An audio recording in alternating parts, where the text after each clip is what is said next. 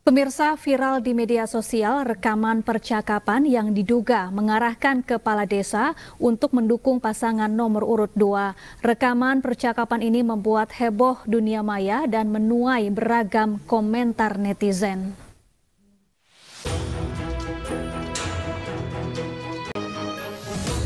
Viral tersebar di media sosial video yang merekam suara percakapan dengan narasi diduga perintah untuk memenangkan salah satu pasangan calon di Pilpres 2024. Diduga perbincangan terjadi antara Dandim, Bupati, Kapolres, dan Kajari Batubara.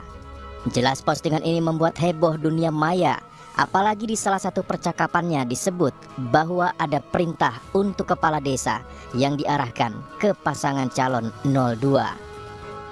Kepala desa. Ini langsung aja kita diarahkan ke 02. Itu dulu yang pertama. Tidak ada cerita lain, tidak ada cerita alasan apa pun menangkan 02 di desa masing-masing. Den, den. Nah, terkait masalah seluruh itu masih diupayakan dengan PJ supaya sebelum pilpres dikeluar dengan catatan 100 ribu dikeluarkan uang dari situ.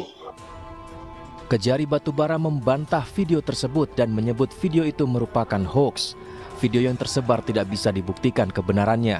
Bahkan, ia meminta penyebar video segera meminta maaf.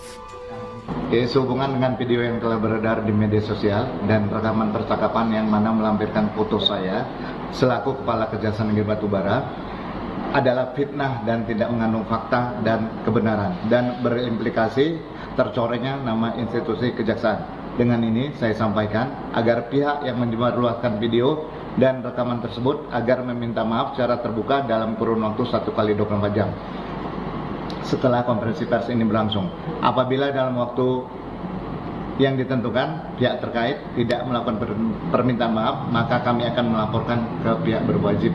Bapak sudah melaporkan kasus ini ke Bawaslu, Pak? Tadi kami sudah klarifikasi ke Bawaslu, oleh karena ini hari Minggu, uh, bukan jam kerja, uh, laporan diterima di hari kerja, jam kerja. Jika video tersebut hoax, lantas siapa dan apa motif dibalik pembuatan video hoax tersebut? Dari Batubara, Sumatera Utara, Fadli Pelka, iNews melaporkan.